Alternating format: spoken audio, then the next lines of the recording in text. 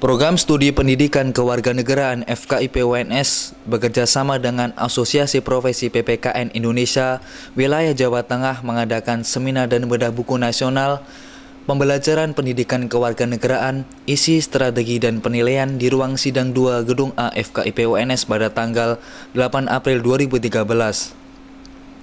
Acara ini dibuka secara langsung oleh Dekan FKIP UNS Profesor Dr. M. Furkon Hidayatullah MPD mengucap Bismillahirrahmanirrahim kegiatan seminar dan bedah buku nasional pembelajaran PKN isi strategi dan penilaian saya nyatakan dibuka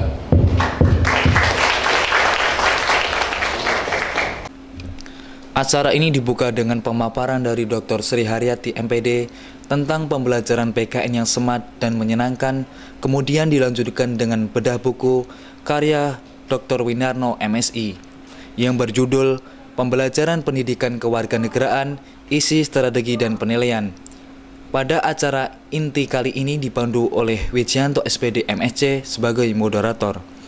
Dalam sisi ini pula dilakukan pembahasan mengenai isi buku oleh Dr. Harmanto MPD yang merupakan dosen Universitas Negeri Surabaya. Billy Budiarjo, Arif Wahyu, Smart TV, mewartakan.